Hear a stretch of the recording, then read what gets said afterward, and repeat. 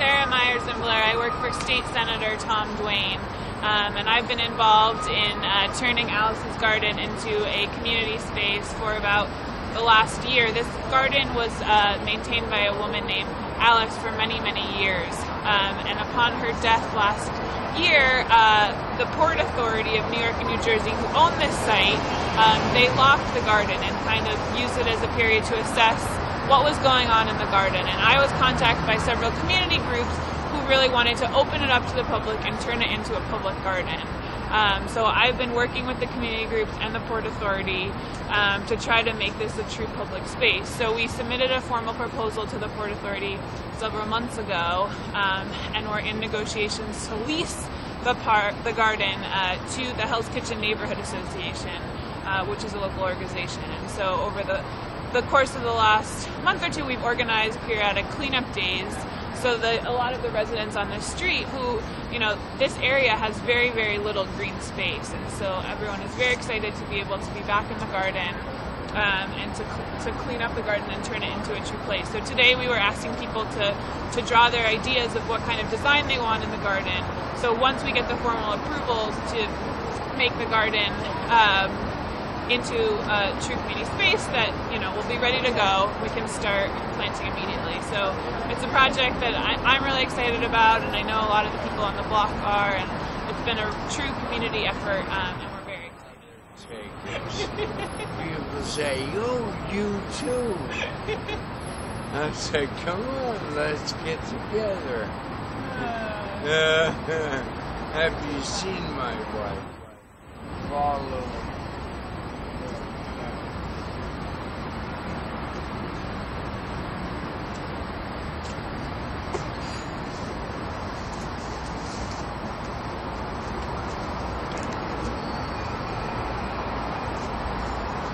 This is fascinating.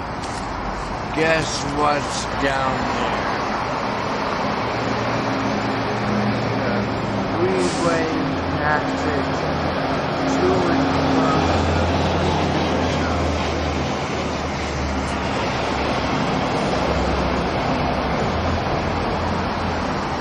right above it, the barrier Alice Garden.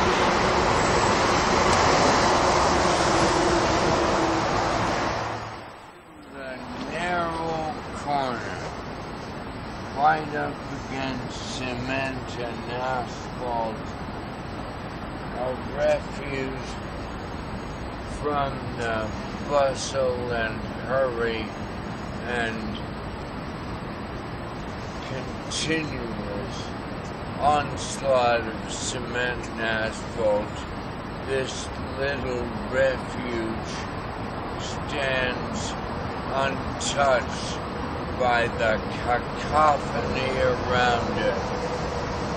And one can find a touch of privacy even in the depths of the jungle of concrete and steel.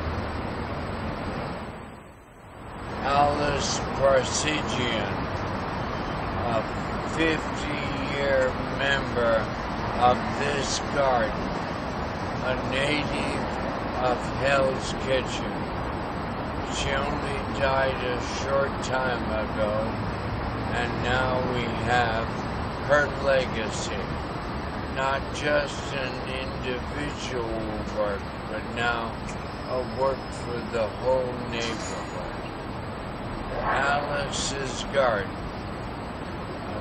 touch of privacy in the heart of Manhattan. We'll always remember you and thank you.